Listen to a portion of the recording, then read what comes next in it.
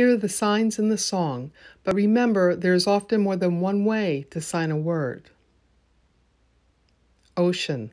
Sign water with a W on your chin, then make ocean waves. Sky.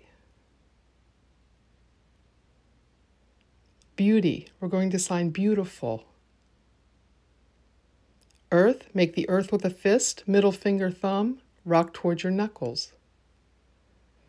Provide. We're going to sign give as in giving to everyone.